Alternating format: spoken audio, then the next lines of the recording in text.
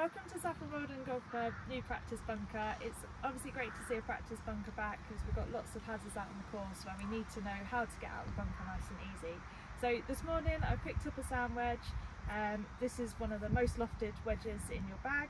This is going to help us get over the deep lips and I'm just going to show you a couple of ways of how to get out nice and easy.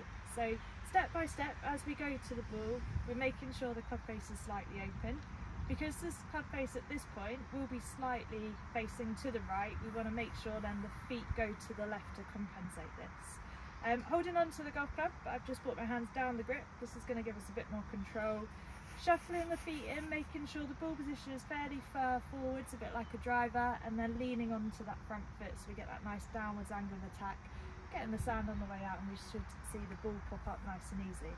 So from here, swing wise, I think a lot of people kind of go for the really quick, really hard, I need to get this out. But actually keeping the swing nice and smooth, just focusing on making this lovely L shape on the way back and then turning through towards the target. This should get the ball out of the bunker every time, as long as the weight is forward on your front foot. So let's see if we can get it towards the net on this one.